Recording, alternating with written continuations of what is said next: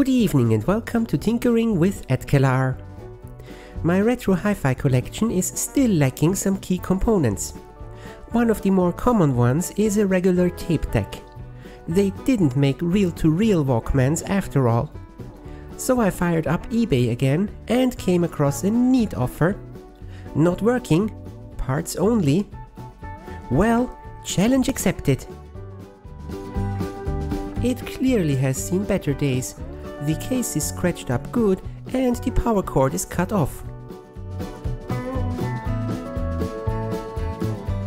The picture and model number didn't ring a bell, so I was actually surprised to find out that this is one of those infamous slanted decks where you put in the cassette at an angle.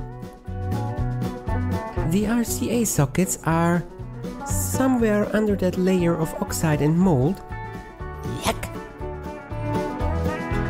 This assembly starts with the case and separating the main components from each other.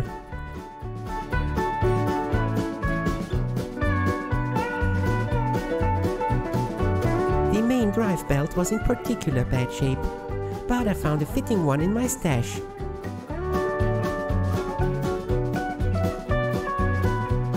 The device was made in the late 1970s.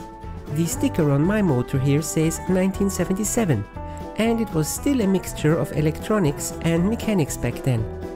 The switch for the record playback is actuated via a double lever with spring-loaded wire action.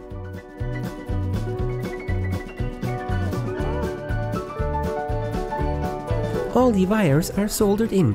I had to desolder them to get the components out.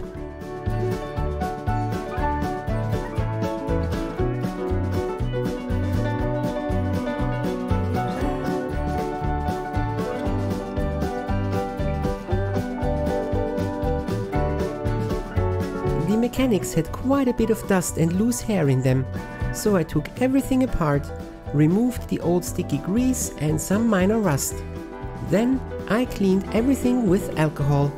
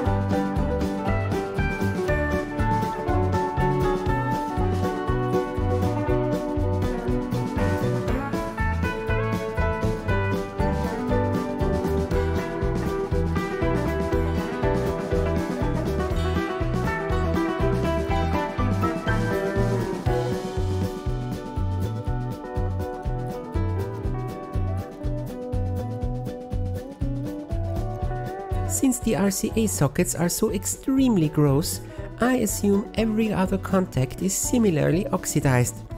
So I desoldered all the switches and the potentiometer to take them apart and clean. Some were indeed nasty.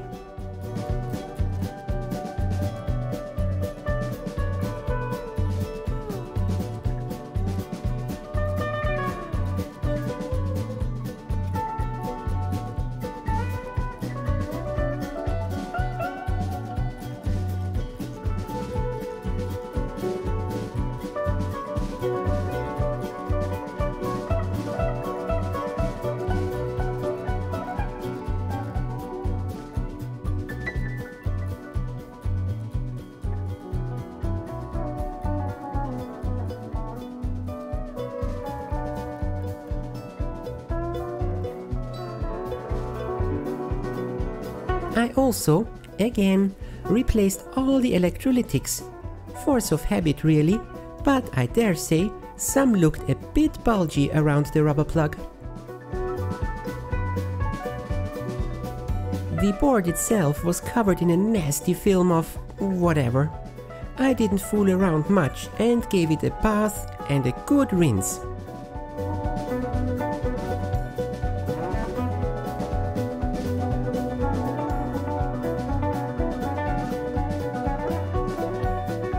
RCA plugs cleaned up with some Scotch Brite. Still, yuck! How can they even get that grimy?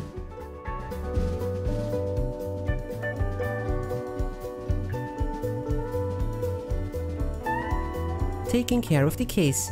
A quick one over with sandpaper to smooth over the scratches and roughen up the surface.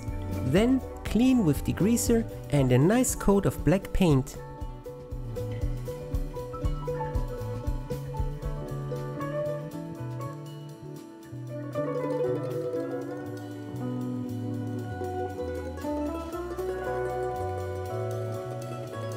A bit of a snag was that the end of tape finger was broken. Time to get out the old epoxy.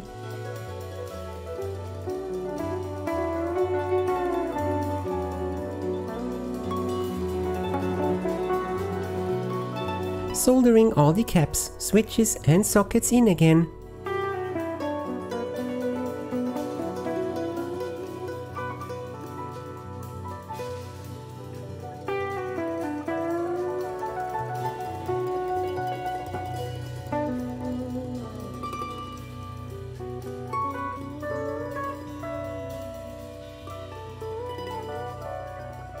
One of the solder pads went missing in action.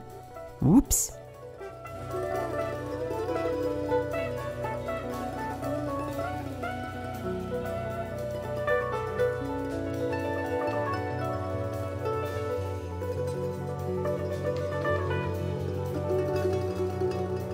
And cleaning the flux, both mine and the 1970s residue. Shiny!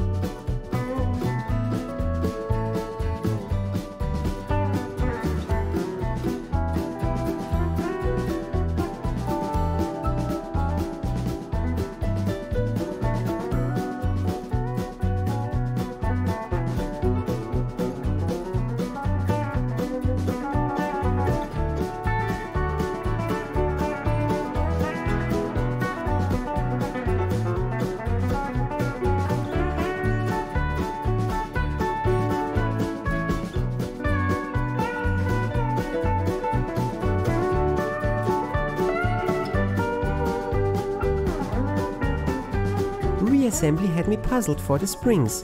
There were several different sizes, but one after the other I found the fitting ones.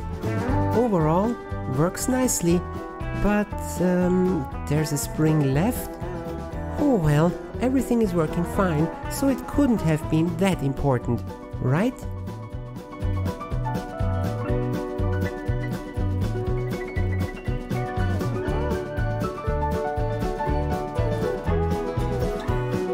Putting the main components back together again, the tape mechanics and the PCB.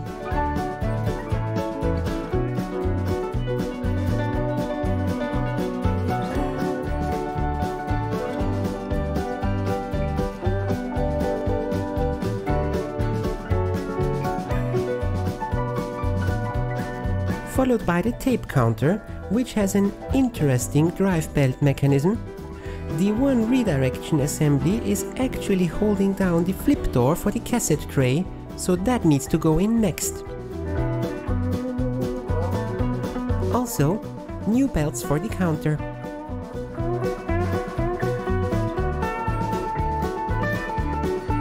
The flip mechanism had a tiny rubber buffer on that peg, but that had deteriorated. I used a piece of heat shrink, works fine as well. Oh, and this is where the extra spring goes. I have a feeling that it's not quite the right one, but I don't want to disassemble the tape again. The deck uses several lights, one per VU meter and two to light up the tape bay. All of them are special ones, and at least one of them did not work. In my effort to cool down devices, I decided to do an LED mod. Orange ones for the VU meters, and since the tape deck has a blue filter for the lights, I went with blue LEDs there. Since the new LEDs I have are clear ones and project a rather nasty light cone, I sanded them off to make for a more diffused effect.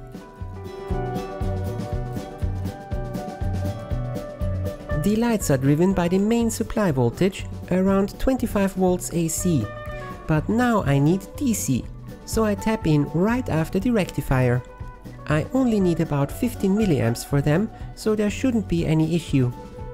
I'll wire them in series to make it easier on the resistors, and yes, I use two to divide the power dissipation. All set, power on. Well, the lights work and the tape moves. So far, so good. Let's start by adjusting the tracking of the head. I have a 3 kHz reference tape for that.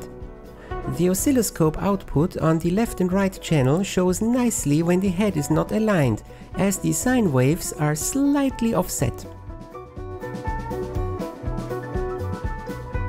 Up next, motor speed. The 3 kHz should also play as 3 kHz. There is an adjustment pot in the motor.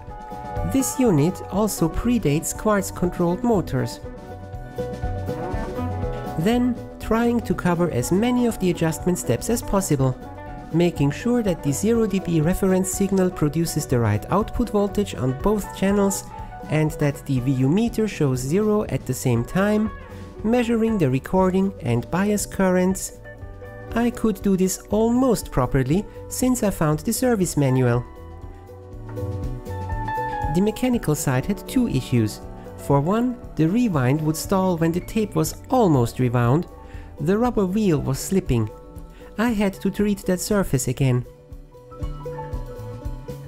The other issue was the auto stop. This deck only has auto stop for play. There were multiple things wrong. First, the detect lever spring was too tight. The tape wouldn't even activate the lever. Next, the stop action was too tight. The idler wheel that was supposed to activate it just slipped. I tried several things, conditioning the rubber on the idler, roughening up the surface of the capstan where the idler pushes in, tightening the spring that brings the idler in, and then I even tweaked, that is, bent, the detection lever. Behold, auto stop. And last but not least, the case.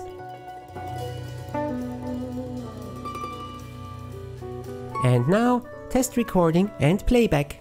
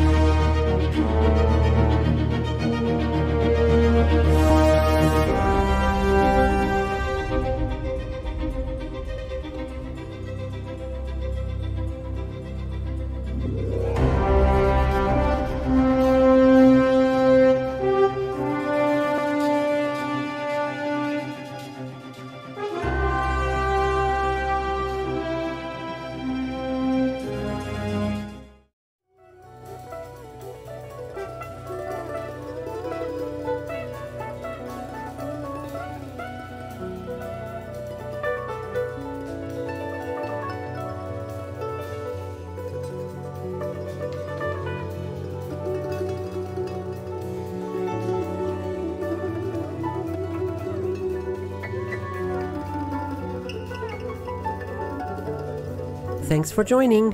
I hope you enjoyed this episode. See you next time.